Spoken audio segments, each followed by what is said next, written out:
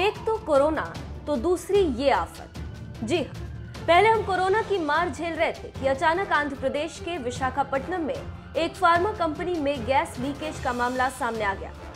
ये घटना गुरुवार सुबह की है। गैस लीक होने के बाद पूरे शहर में तनाव का माहौल है। आनंद फानन में स्थानीय प्रशासन और नेवी ने फैक्ट्री के पास के पाँच गाँवों को खाली करा लिया।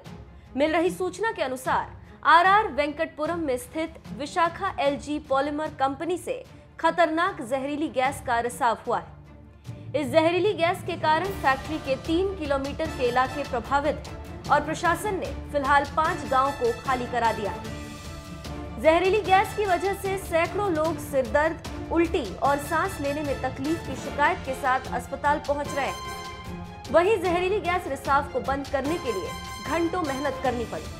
फिर जाकर जहरीली गैस का रिसाव बंद हुआ। स्थानीय प्रशासन की माने तो फैक्ट्री के आसपास से 3000 लोगों को रेस्क्यू किया गया और जहरीली गैस की वजह से अभी 170 लोगों को हॉस्पिटल में भर्ती किया गया।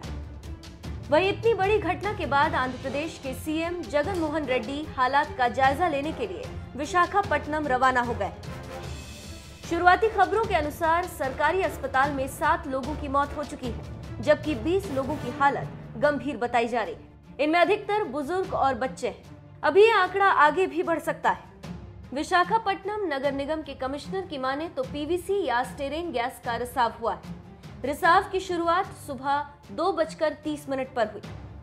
गैस रिसाव की चपेट में आसपास के सैकड़ों लोग आ गए और लोग बेहोश होने लगे, जबकि कुछ लोगों को सांस लेने में दिक्कत होने लगी। हालाँकि गैस लीकेज के असली कारणों का पता नहीं चल पाया।